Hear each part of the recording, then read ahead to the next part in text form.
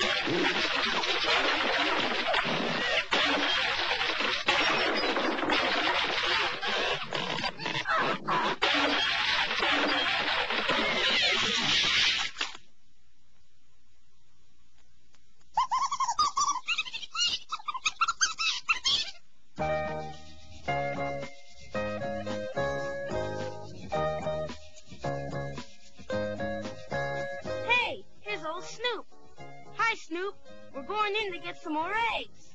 Look, Marcy, here's old Snoopy. You don't mind if he joins us, do you? He's a cool kid. Old Snoop won't get in the way. Right, Snoop?